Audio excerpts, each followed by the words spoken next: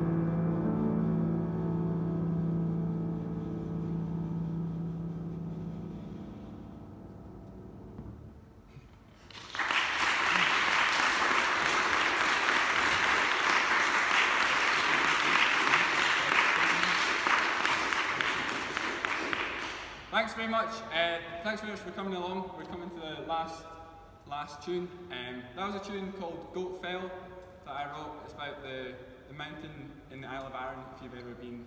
There's a mountain called Goatfell. Uh, thanks very much for coming along. It's been really nice to play in this big hall and with a nice, lovely piano. Fergus very much appreciates the nice, nice piano. Uh, so yeah, we're going to finish with one more song, but thanks very much for coming along. And yeah, if you want to check out any of our music, we're, it's all available online.